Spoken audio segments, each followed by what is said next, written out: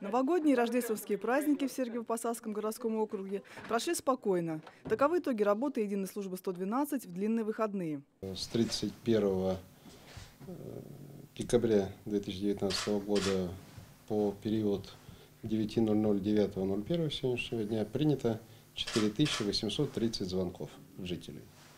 В основном это звонки в экстренные оперативные службы, Большинство звонков поступило в службу скорой помощи, около 1600 обращений. Люди жаловались на проблемы с сердцем, повышенное давление и переутомление. Около 750 обращений поступило в полицию. В основном звонили пожилые люди и жаловались на громкую стрельбу фейерверков. В пожарную охрану звонили 57 раз.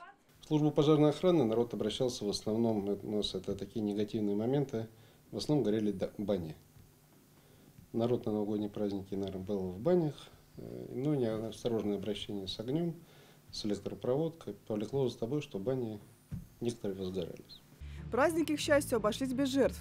Не было серьезных дорожно-транспортных происшествий. 23 обращения поступило лишь по поводу нечищенных дорог и тропинок. Но были звонки неожиданные. В новогоднюю ночь где-то было порядка 60 звонков. 60 звонков. Ну, люди в различном состоянии Звонили, говорили спасибо огромное нашим операторам, поздравляли с Новым годом.